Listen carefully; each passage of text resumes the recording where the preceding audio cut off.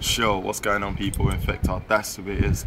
Quickly just gonna do a quick freestyle and I guess everyone can kind of relate to this. Listen to the lyrics. You see what matters to me is that I'll get stopped and searched when I'm on the streets or get accused by police for carrying the heat even though my enemies are still calling me a geek. Or you see what matters to me is the violence victims dying each and every week or fashion. Maybe I want the best